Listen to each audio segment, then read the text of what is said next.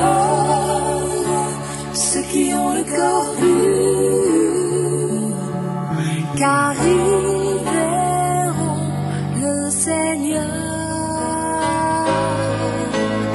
Heureux, ceux qui ont le corps pur.